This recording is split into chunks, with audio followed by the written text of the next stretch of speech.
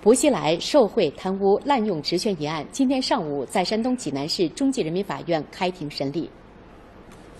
今天上午八点四十三分，山东省济南市中级人民法院一审公开开庭审理被告人薄熙来受贿、贪污、滥用职权案。